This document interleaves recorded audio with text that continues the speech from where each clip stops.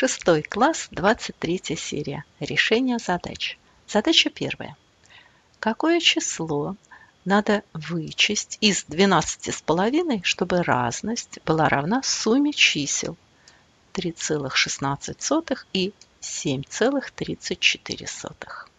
Обозначим это число за x. x надо вычесть из 12,5 и должно получиться значение вот этой суммы. Значение суммы 10,5. Чтобы найти x, надо из 12,5 вычесть 10,5. x равен 2. Задача вторая. Существует ли двузначное число, равное удвоенной сумме его цифр? Допустим, э, такое число существует x э, десятков и y единиц в этом числе. Сумма цифр этого числа x плюс y. Если сумму цифр умножить на 2, то получится это двузначное число. Раскрываем скобки, упрощаем и получается 8х равняется y.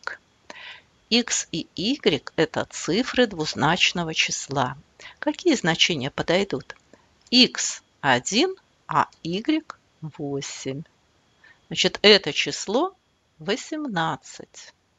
Вопрос, существует ли такое число? Да, существует. 18. Задача третья. У четырех девочек было яблок поровну. Каждая съела по три яблока и у всех вместе осталось столько, сколько было в начале у каждой из них. Сколько было в начале у каждой? А, вопрос задачи обозначим за x. Допустим, в начале у каждой было по x яблок.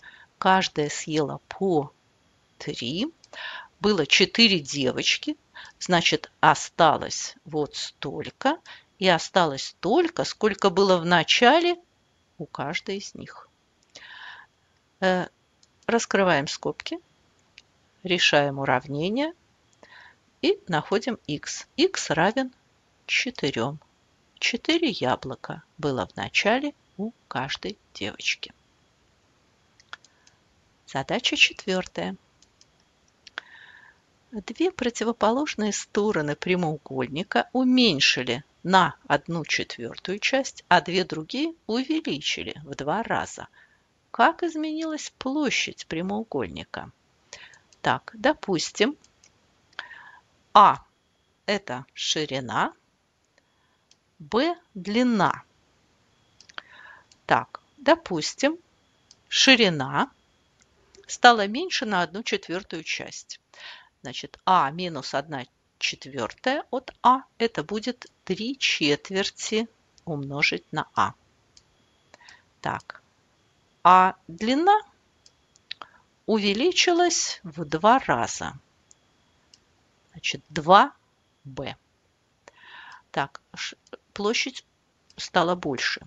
Чтобы узнать, во сколько раз площадь стала больше, надо площадь от второго прямоугольника – разделить на площадь первого прямоугольника. Получится полтора. Значит, площадь стала больше в полтора раза.